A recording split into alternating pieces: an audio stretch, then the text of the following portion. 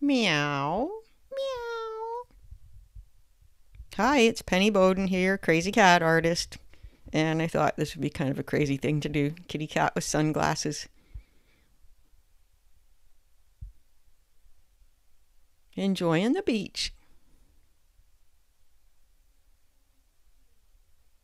I'd totally love to hear from you, so please drop me a comment. Tell me about yourself or your cat or whatever, where you live in the world, what you want to learn about cat drawing.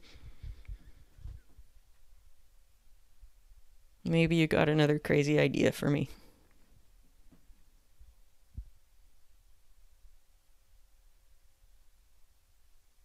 Now, this is a sunglasses, and of course, they're, you know, there's less allowance with sunglasses because they're a human constructed shape, so they're perfectly symmetrical.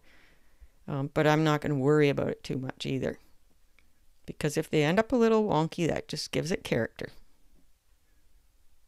If one lens ends up bigger than the other, they just look like they're, you know, it's a different perspective. They're turned a little bit sideways.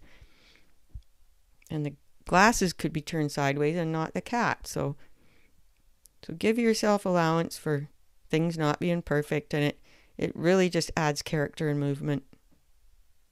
Every time you go about correcting every little thing, that's when you start to lose the life in the drawing. I am going three times the speed here. and voicing over. This paw's a little squished down into the sand.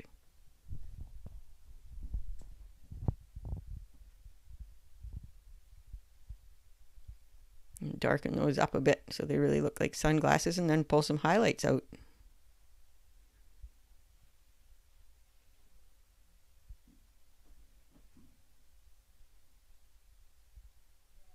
Some tabby stripes for character and movement, but just a suggestion of them.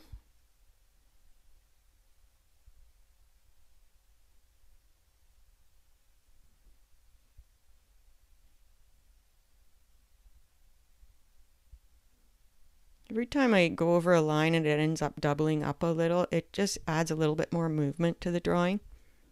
So I don't, when I go over a line, I don't try to get it exact. I, you know, I'm just strengthening up the line. I don't try to get it exactly on top of the other line.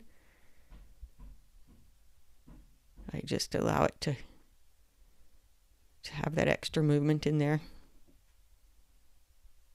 Darken them up a bit more. Thank you so much for watching today, and we'll see you next time.